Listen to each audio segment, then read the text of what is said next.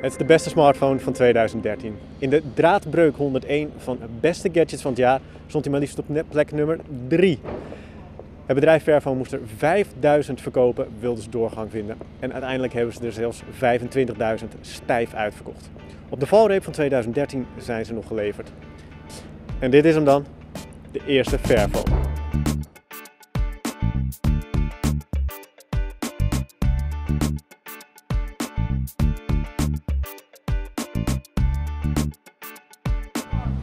Het Amsterdamse bedrijf Fairphone wilde kijken of het mogelijk was om een smartphone te maken die een soort fairtrade was. Met eerlijk grondstoffen en eh, medewerkers in de fabriek die goed behandeld werden.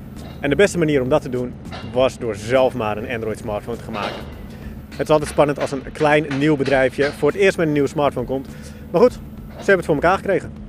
Termen als uh, dunste, platste en mooiste, die zul je niet snel horen als het over de Fairphone gaat. Het is een, eh, een stevige buizing, dat wel, met een aluminium cover op de achterkant die natuurlijk gemaakt is van gerecycled materiaal. Verder kun je er uh, twee simkaarten in doen en een geheugenkaartje en de accu is te verwisselen. En daar maakt Fairphone nogal een punt van. Dat kan namelijk bij veel andere smartphones tegenwoordig niet meer. En om dat punt te benadrukken hebben ze zelfs wat vriendelijke boodschappen op de accu geschreven. Gezellig. Fairphone wordt aangedreven door een quad-core processor van MediaTek en die doet dat ruim voldoende. Beeldscherm is 4,3 inch groot en heeft een QHD resolutie en ook die is ruim voldoende. Uh, datzelfde kan dan weer niet gezegd worden over de 8 megapixel camera aan de achterkant, die is vrij matig.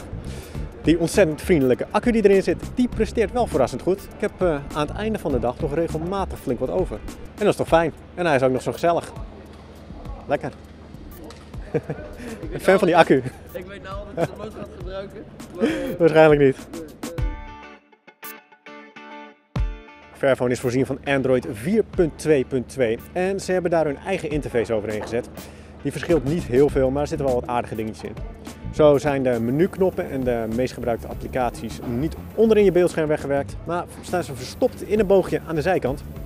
Uh, daarnaast hebben ze twee eigen widgets. Eentje om de meest gebruikte en laatst gebruikte applicaties weer te geven. En eentje die heet Geniet van de Rust. Dat is eigenlijk een soort vliegtuigstand met een timertje erop. Maar is toch uh, lekker als je even geen gezeik in je kop wil. Tot zover, alles oké. Maar perfect is het toestel niet. Totaal niet zelfs. Om te beginnen heeft Fairphone bijvoorbeeld geen licentie verkregen voor Android, waardoor je dus zelf bij de eerste keer opstarten alle standaard applicaties zoals Gmail en Google Maps moet installeren. Daarnaast herkent het Nederlandse woordenboek geen enkel Nederlands woord, hoe goed je het ook spelt. Maar het vervelendste is nog wel dat er een bug in zit, waardoor je een hoop applicaties die gebruik maken van je locatie niet kunt installeren. Was nou een groot fabrikant geweest zoals LG, HTC of Samsung, die dat soort dingen had gedaan, dan hadden we ze bij de enkels afgezaagd. Maar bij deze Fairphone gaat het daar niet zozeer om. De telefoon zegt het zelf ook als je hem opstart. Start a movement, begin een beweging.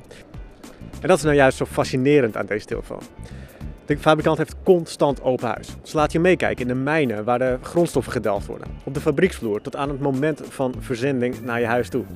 Ze laten precies zien waar elke euro die jij aan dit toestel besteedt aan uitgegeven wordt. En ze laten ook precies zien waar de ingrediënten in deze smartphone allemaal vandaan komen.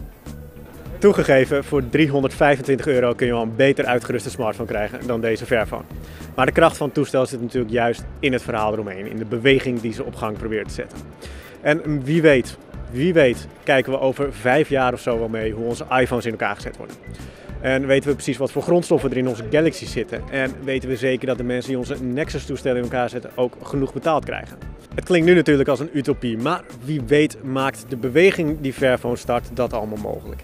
En daarom ben ik zo enthousiast over deze smartphone.